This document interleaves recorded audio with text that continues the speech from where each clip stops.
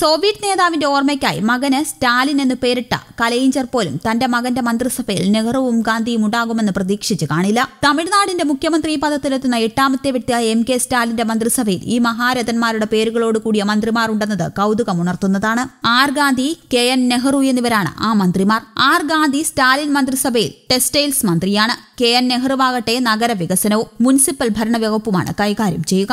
റാണിപ്പേട്ട് ജില്ലയിൽ നിന്നും നാല് തവണ എം എൽ എ ആയിട്ടുള്ള ആർ ഗാന്ധി ആദ്യമായാണ് മന്ത്രിയാകുന്നത്. കെ. എൻ. നെഹ്റുവാകട്ടെ തിരുച്ചിറപ്പള്ളിയിൽ നിന്നുള്ള ഡി. എം. കെയുടെ ശക്തനായ നേതാവാണ്. അദ്ദേഹം നാലാം തവണയാണ് ഡി. എം. കെ മന്ത്രിസഭയിൽ അംഗമാവുന്നത്. ഗാന്ധി എന്ന പേരുള്ള രണ്ടാമതൊരാൾ കൂടി തമിഴ്നാട് നിയമസഭയിൽ എത്തിയിട്ടുണ്ട്. അദ്ദേഹത്തിന്റെ പേര് എം. ആർ. ഗാന്ധി എന്നാണ്. നാഗർകോവിൽ മണ്ഡലത്തിൽ നിന്നും വിജയിച്ച ഇദ്ദേഹം ബി. ജെ. പി. അംഗമാണ്. മനസാക്ഷിയെ തൊട്ട് സത്യപ്രതിജ്ഞ ചൊല്ലി അധികാരത്തിലേറ്റ സ്റ്റാലിനും അദ്ദേഹത്തിന്റെ മന്ത്രിസഭയിലെ ഗാന്ധിയും നെഹ്റുവും എല്ലാം തമിഴ് മക്കൾക്കായി കരുതി വച്ചിരിക്കുന്നത് എന്താണെന്ന് കാത്തിരുന്ന് കാണേണ്ടതാണ്. എം കെ സ്റ്റാലിൻ ജനിച്ച് നാലാം ദിവസമാണ് ജോസഫ് സ്റ്റാലിൻ അന്തരിച്ചത്. പെരിയാറിനെ പരിചയപ്പെട്ടിരുന്നില്ലെങ്കിൽ കമ്മ്യൂണിസ്റ്റ് ആകുമായിരുന്നുവെന്ന് പലതവണ പറഞ്ഞിട്ടുള്ള എം കരുണാനിധി സോവിയറ്റ് നേതാവിന്റെ ഓർമ്മയ്ക്കായി ആ പേര് നൽകുകയായിരുന്നു. ഗാന്ധി നെഹ്റു ജവഹർലാൽ ബോസ് തുടങ്ങിയ പേരുകളെല്ലാം തമിഴ്നാട്ടിൽ സർവസാധാരണമാണ്.